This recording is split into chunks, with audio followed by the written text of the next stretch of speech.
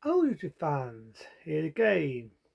So about the weather, but as you can see, it's too fucking pissing it down. But that's not why I'm speaking. As you know, I'm still talking about the video Nasties, and I remember talking about this one the other day. That was um, a look at Cannibal Holocaust. But now I'm not talking about a look, I'm talking about the movie itself. That's right, the most istiness and the daddy of the video Nasty. As you know, a lot of cannibal films during the 70s were getting popular. But most of them was your typical cannibal, I should say your typical jungle adventure films. And this had a bit of a while to start like that. It does have a beautiful store to it. You know, it's hard to hum a song, but I could if I could get away with it. It goes la la la. La la la. I'm not going to do the rest because I, I won't do it justice. But the other one has a really beautiful store to it. And like most cannibal films, it does show a lot of beautiful jungle scenery. It does show a lot of jungle, not on set like you see nowadays. This is shot on a, on a real fucking jungle. What was it offensive for the actors who starred in this? Let's come on the film. They only know in the biography what I was doing. They signed a contract with a director that it'd be so many months for me do another film. But you were joined to that, just go back to the one I was doing called a look at um, Cannibal Holocaust. Now, I do know originally it was going to be called The Green Inferno, which is funny enough, there's a movie now called The Green Inferno, which is a cannibal film. So basically, it's about these young people who are doing a biography on cannibals and cannibalism and are going to the native jungle to to to meet real life cannibals and they go missing. And to cut the story short, they send this guy who's like um, a cheater, which I said was played by a real porn star. That good performance, he really does play it well. So at first, you've got these soldiers shooting cannibals, a bit of shit effect. One gets shot in the face just for shot fire You can see it's a fucking dummy. But I do like the bit with the cannibals firing darts everywhere. It feels like a jungle, shoot 'em up at fencer at first. But then, like I say, you get this guy, he's like a professor, and he, he um, goes and looks for these um, the young people. He meets some natives on the way, and um, remember that they are cannibals. There's a bit of rape, a bit of blood and gore. Again, a lot of animal cruelty. There's a bit where they kill this little rodent with a thick knife and it's screaming in pain. Didn't really think it was fucking needed. But, uh, like I say, on the way, there is a bit of a really disturbing bit. I remember saying this, where this girl gets, doesn't get raped, but she's getting tortured. And she has a wooden, this guy has this piece of wooden thing and he stuffs it, instead of putting cheese there, he stuffs it down there and he messes it insides up. If that ain't bad enough, he gets a walk and he bashes a fucking head in. Nice. He literally bashes a fucking head in. It's an hard scene to watch, and even I go like that. It is not nice. Really not nice. But as the film goes on, like I say, they meet these natives, and the guy realises that they've been killed. All these students these people are doing this research on cannibalism, they've all been brutally murdered. You find the aftershocks of all the bodies, all rotten corpses and skeletons because of the sun. But the one thing they managed to save is tell them what they was filming. They was doing this biography. And they managed to save the film. So he takes it back to America, to cut the story short. Takes it back and he wants to review the last footage of what they've done They've got this one time as it's a teen up. And one thing I do with this film, I do like this film, even though it's an hard film to watch. I like the fact this is before Blair Witch stuff. This was before you had found footage films. What do I mean by that? What do I mean by that? It's very definitely done because the bits where they saw the footage of them in the jungle, they use what they call a 4K film and they sort of blow it up and they make it look deteriorated. And then when you get into the film itself, and it's the people talking in America and all that, they use the six millimeter camera. They use two millimeter cameras to give you that offensive look, like we're in the jungle, which does, we're in the jungle. And at first, there's having a bit of harmless fun, lasting diggles, and the film what there's fine. But as you find out as the film goes on, they've got an evil streak. Every single one of them has an evil streak. There's a bit where they kill a turtle. Again, no need for animal cruelty.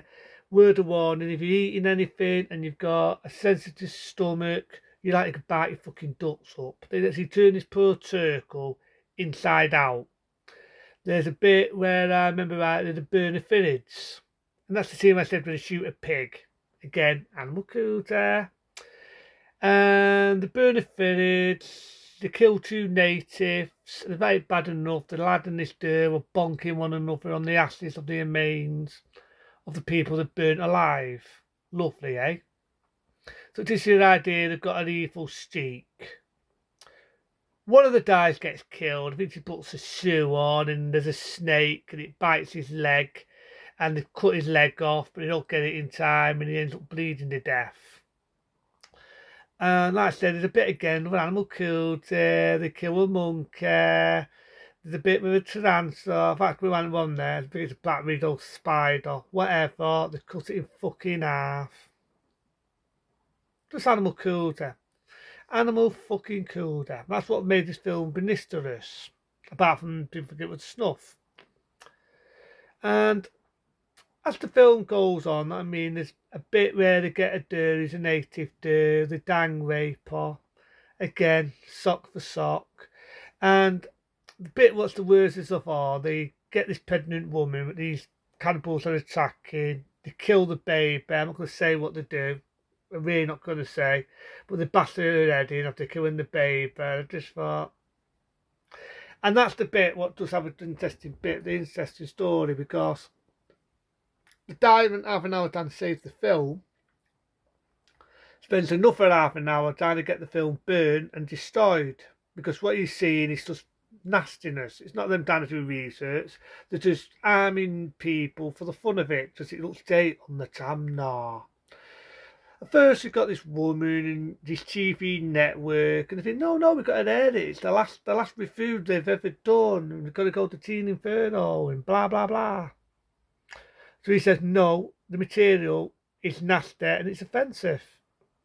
But he said, okay, okay, he gets them to watch it. And when they see it, like I said, the bit where they rape the native woman, some real disgusting bits, they realise there's no way in the world they're going to air this on fucking TV. No way in the world. So it gets to the interesting bit. It's saying such a bit, that's after seeing that, there's a famous bit, which you all remember, where the pole, like I just said, the woman's anus, in the mouth, blood everywhere. Just a bit of making of that is, in real life, all they used was a bicycle pump, a fake pole, fake blood on the woman's face, and she had to hold her mouth and the rest was special effects. But even today, that was so shocking and so. But it was to do what they raped. Apparently, the cannibals didn't like that. So the killed us. It's an horrible way. And they filmed it. And at first, they're making out it's beautiful. And then when they realised they're filming the camera, oh no, oh no, it's terrible. These savages. And you know it's bullshit in the die. But his big mistake is after that, the cannibals want to get them. And they're hunting them and they're killing them one by one. They get the dice to and they get a rape scene again. And then that ain't nasty enough to cut a fucking head off. Then they're killing them one by one.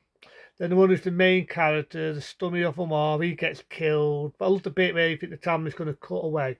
I love that scene. Because you see it cut away, fade, and it comes back on, and you see the aftershots of the die, the main character, and his fucking head basting And it's the end of that part of the film. But I do love the response of all the people who's watching this. They're sort of like how I'm feeling. Socks, horror. So that reminds me what uh, Mary Whitehouse has been looking at when she got to that bit, which I doubt she did. But I do love the bit where they phone up and they just say, burn the tape.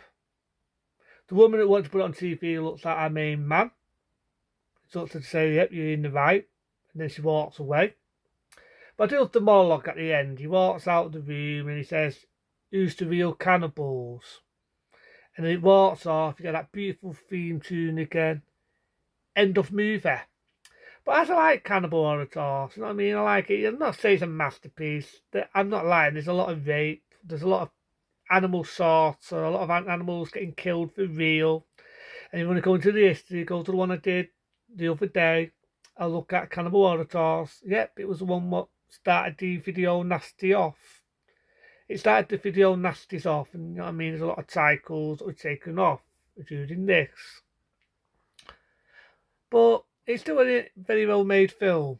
Very well made. It's like I say, I love the fact that the director used an idea of using the 6mm on the film and then he used a 4mm, made it all deteriorated looking before the found footage. I love the fact that they used real jungle and so on. He used good footage of the jungle.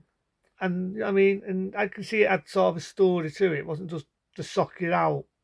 But at the same time, I can see why it's not everyone's cup of tea.